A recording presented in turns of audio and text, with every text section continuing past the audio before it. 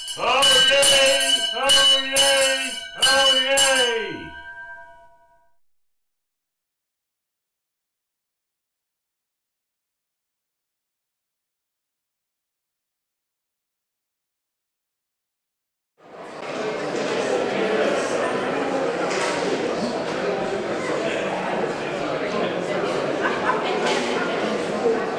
Well, good evening, ladies and gentlemen, and welcome to the Muses from Murray concert.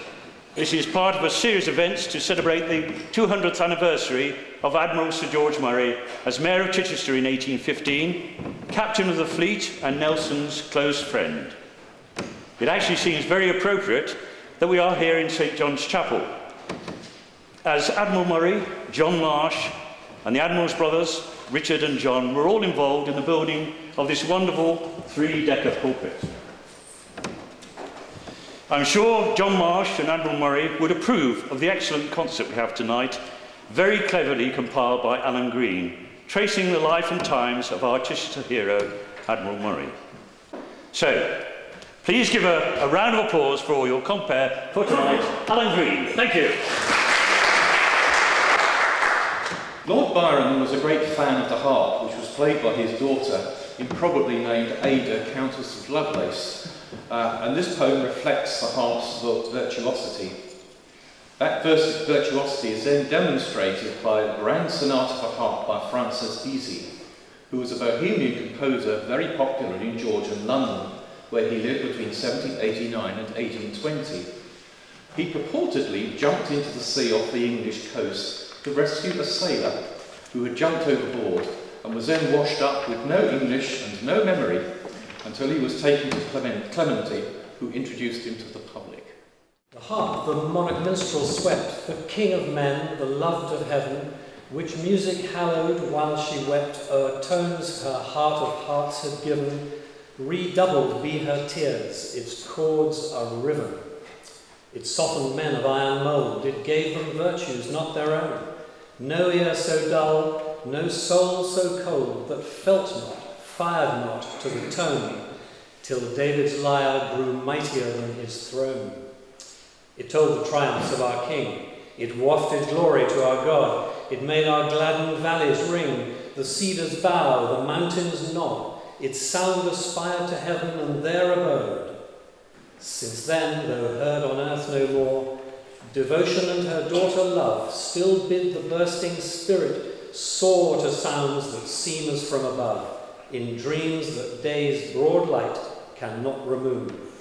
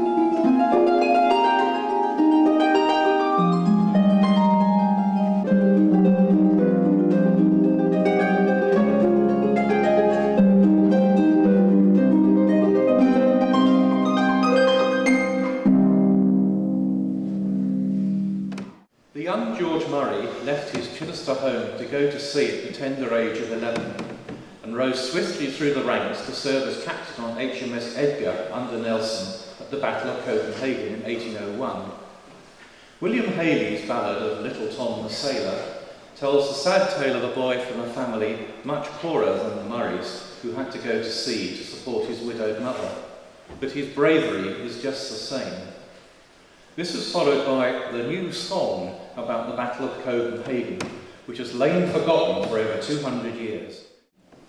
And does then the ocean possess the promising, brave little youth who displayed in a scene of distress such tenderness, courage, and truth?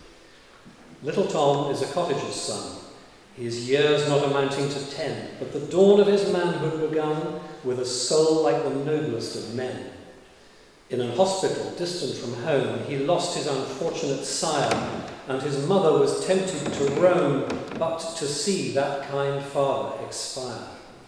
To depart from her cottage was hard, to desert the dear dying was worse, though she had an idiot to guard and a sick little infant to nurse.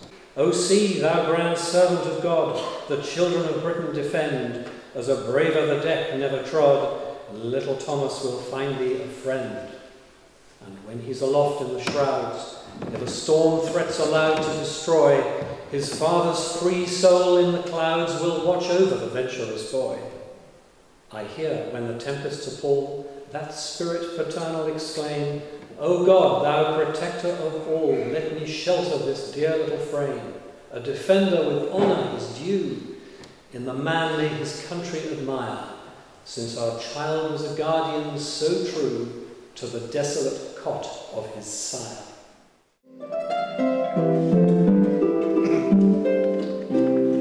Twas on April the second, a glorious day, when brave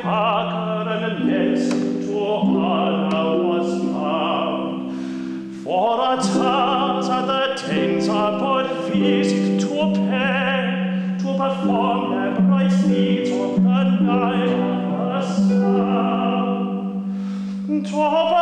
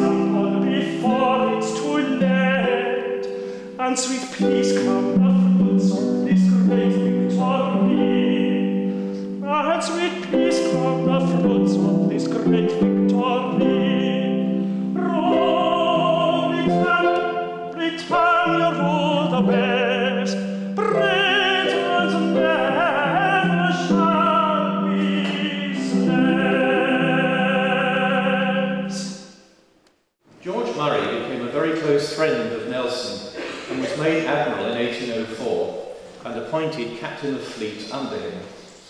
Nelson famously said, None but Murray will do. Correspondence between Nelson and Murray has survived, and we will first hear a letter which illustrates the intimacy between them. Now, Napoleon Bonaparte, although a sworn enemy of Great Britain, nonetheless had many firm followers on these shores, and items of Napoleana were avidly collected.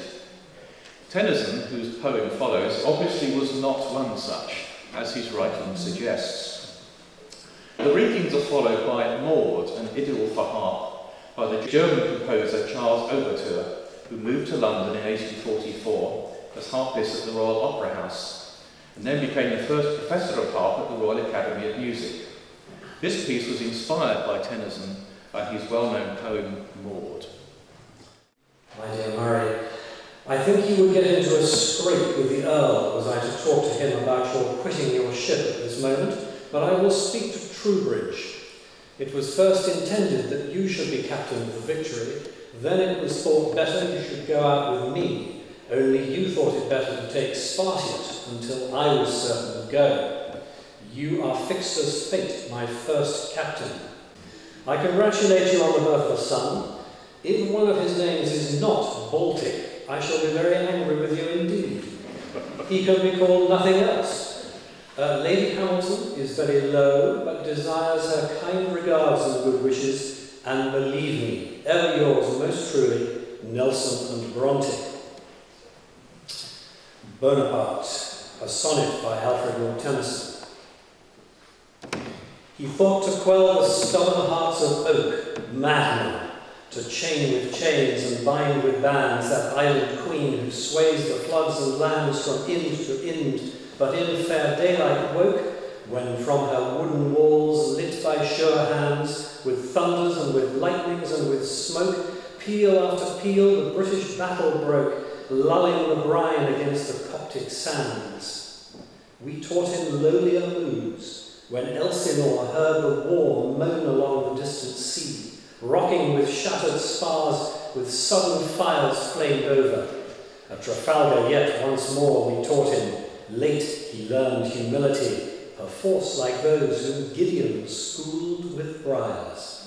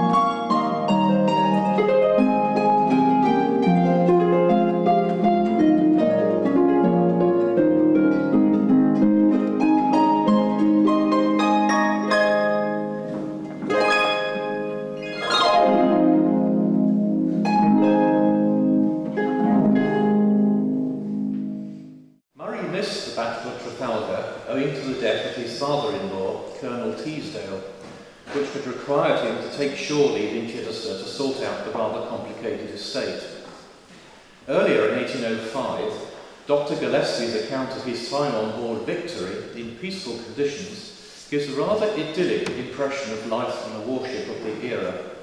He includes Murray in the roll call of officers. This is followed by two minuets by the French composer Jean-Philippe Rameau, a musical prodigy who became organist successively at several French cathedrals.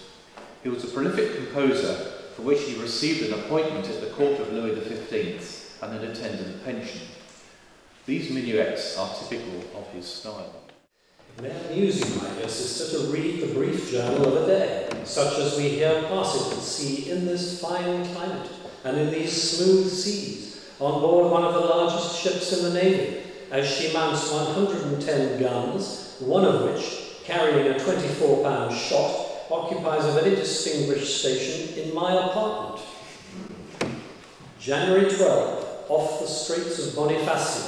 a narrow arm of the sea between Corsica and Sardinia.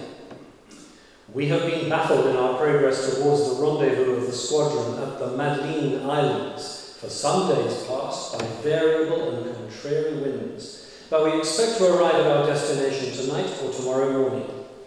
To resume, my dear sister, the journal of the day, at six o'clock my servant brings a light and informs me of the hour, wind, weather, and course of the ship, when I immediately dress and generally repair to the deck. Breakfast is announced in the Admiral's cabin, where Lord Nelson, Rear Admiral Murray, the captain of the fleet, Captain Hardy, commander of the Victory, The chaplain, secretary, one or two officers of the ship, and your humble servant assemble and breakfast on tea, hot rolls, toast, cold tongue, etc. After which, when finished, we repair upon deck to enjoy the majestic sight of the rising sun. Between the hours of seven and two, there is plenty of time for business, study, writing, and exercise, which different occupations, together with that occasion of visiting the hospital of the ship when required by the surgeon, I endeavour to vary in such manner as to afford me sufficient employment. At two o'clock, a band of music plays till within a quarter to three, when the drum beats the tune called The Roast Beef of Old England, to announce the Admiral's dinner, which is served up exactly at three o'clock, which generally consists of three courses and a dessert of the choicest fruit, together with three or four of the best wines. Coffee and liqueurs close the dinner about half past four or five o'clock, after which the company generally walk the deck where the band of music plays for near an hour. At six o'clock, tea is announced, when the company again assemble in the Admiral's cabin, where tea is served up before seven o'clock. At eight o'clock, a runner of punch, with cake or biscuit is served up, soon after which we wish the Admiral a good night, who is generally in bed before nine o'clock. For my own part, not having been accustomed to go to bed quite so early, I generally read an hour or spend one with the officers of the ship, several of whom are old acquaintances to whom I have been known by character. Such, my dear sister, is the journal of a day at sea, in fine or at least moderate weather, in which this floating castle goes through the water with the greatest imaginable steadiness, and I have not yet been long enough on board to experience bad weather.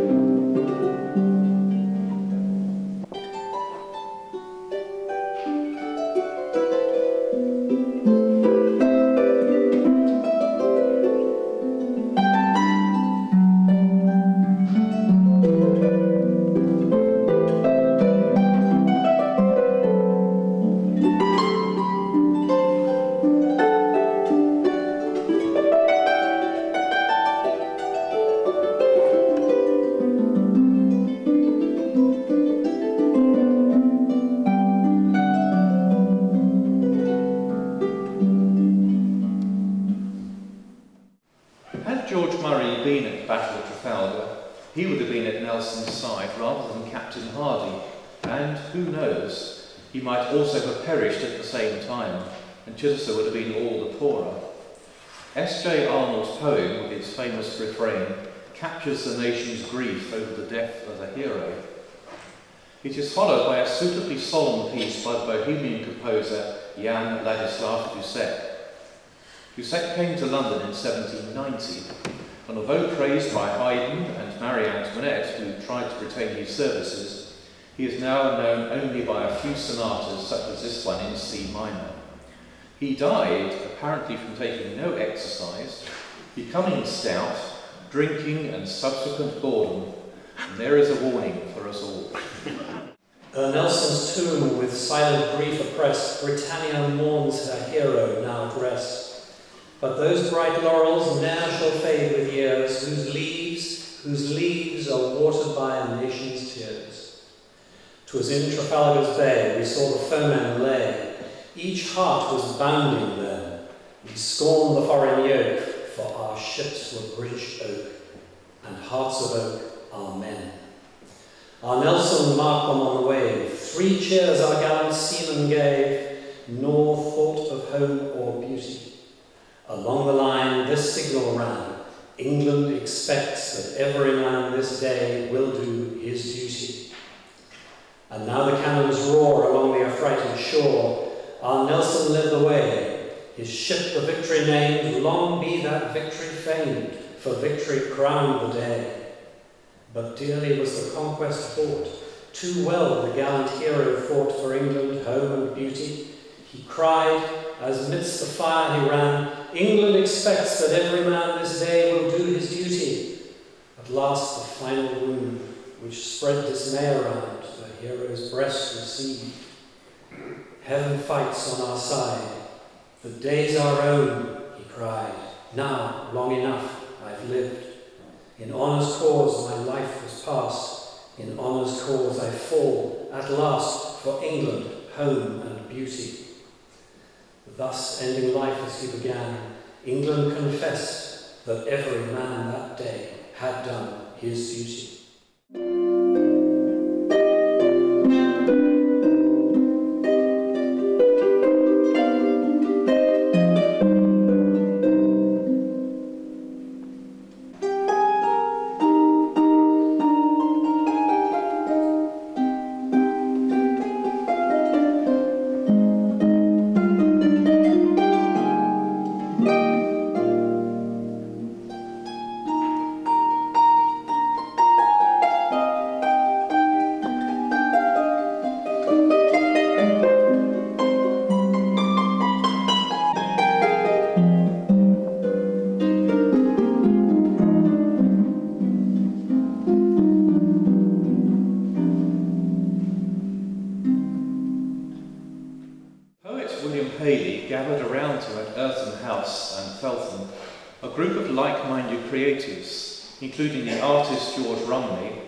Joseph Wright of Derby, the sculptor John Flaxman and the composer John Marsh. There is no record of any friendship between Hayley and George Murray, but it is most likely they would have met at some social occasion. Lady Hamilton, mistress of Lord Nelson and muse of the artist George Romney, was also part of the Hayley set. And here, Sir Hayley sets out his condolences to her following Nelson's death, in both prose and poetry. This is followed by two unaccompanied folk songs dealing with affairs of the heart, which might perhaps reflect Lady Hamilton's feelings. O Waly Waly is of Scottish origin, whilst Down by the Salley Gardens is, is Irish, with words by William Butler Yeats, which, to use his own words, he reconstructed from a song he heard sung by an old peasant woman in Sligo. My dear lady, if I have ever been a source of good to you in any period of your life, I rejoice in the idea, but I shall be much more so if you will allow me to suggest to you what bitter and long experience has taught me and what I consider as an inestimable acquisition I mean the habit of making affectionate justice to departed excellence a source of purest delight. I now scrawl in extreme haste to give you the quickest assurance in my power that I most heartily wish to reanimate your wounded spirit and excite you to display that angelic fortitude through every earthly trial which the heroic angel, whose light from earth we ought not too deeply to lament, must wish and expect from your elevated and inspiring mind. Blessed be this hallowed movement of the heart, affection for the dead. It has a charm, a tender, awful, melancholy charm, source of aspiring thoughts and fair designs, that gratify the feeling soul beyond the towering transport and the gaudy pride that gayer passions boast.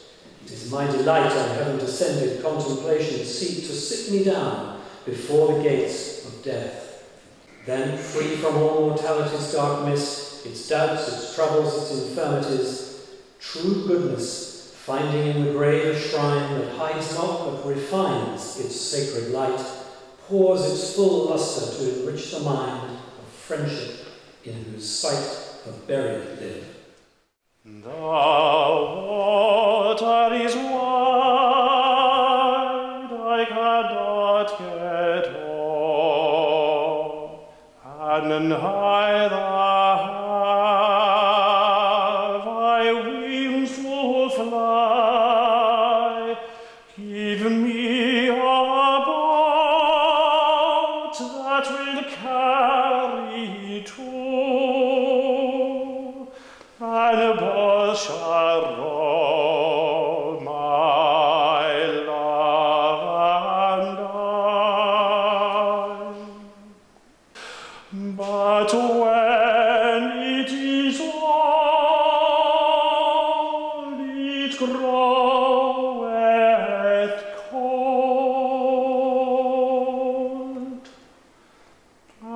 fezza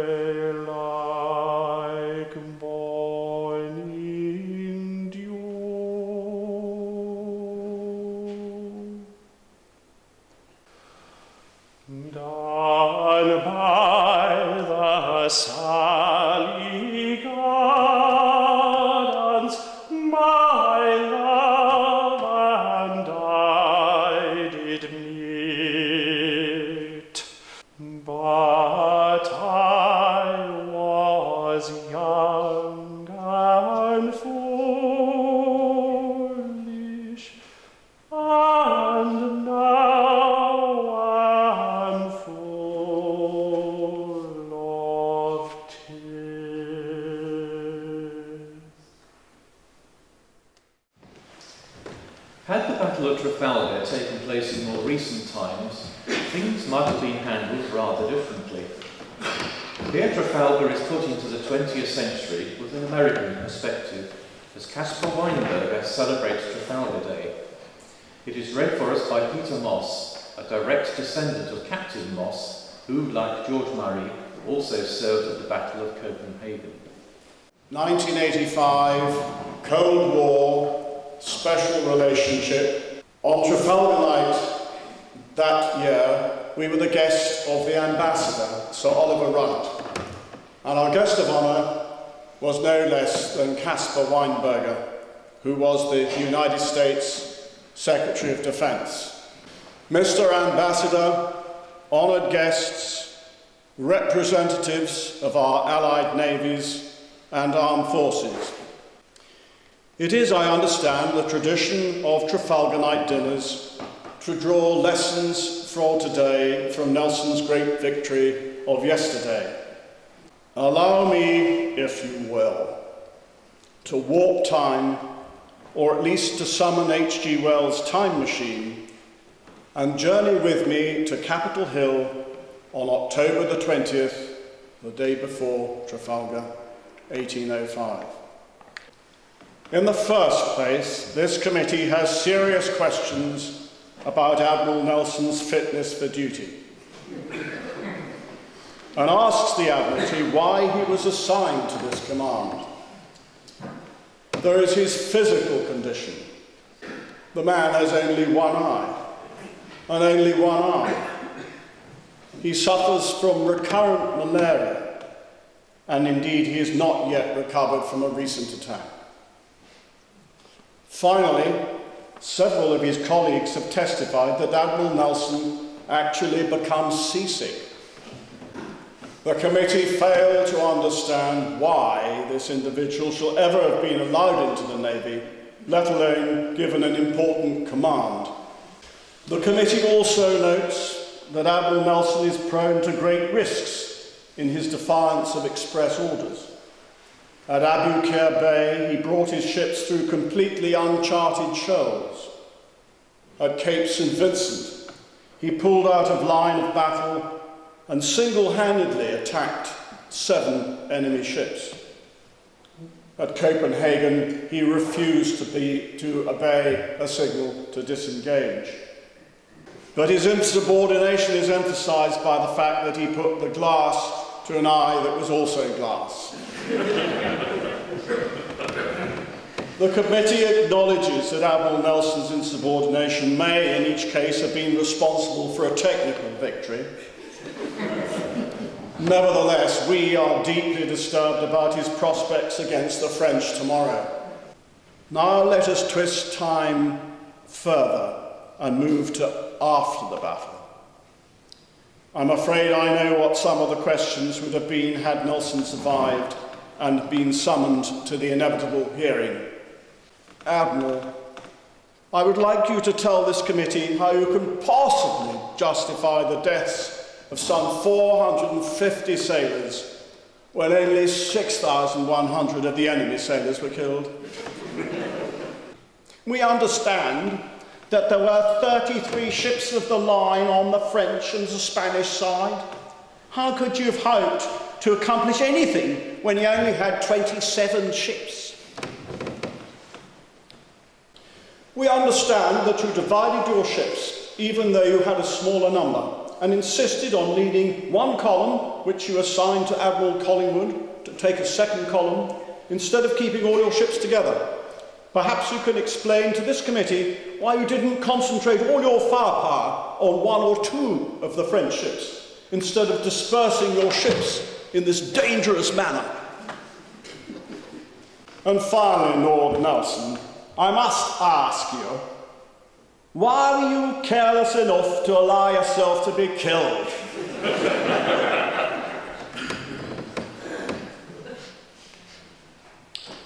the Secretary of State continued with some inevitable but masterly comparisons, and he concluded It's useful in these moments to become acquainted with our heroes. We still revere Lord Nelson, not in spite of his boldness and his insubordination, but because of it. In Admiral Lord Nelson, ardent, unruly, supremely self confident, a nation had found and had a principle and found a concrete form in a man. May we who have inherited the responsibility for freedom be his worthy heirs. At which point, the Secretary of State for Defense of the United States of America, Caspar W. Weinberger, exhorted us all to please rise and drink a toast to the immortal memory of the great Lord Nelson.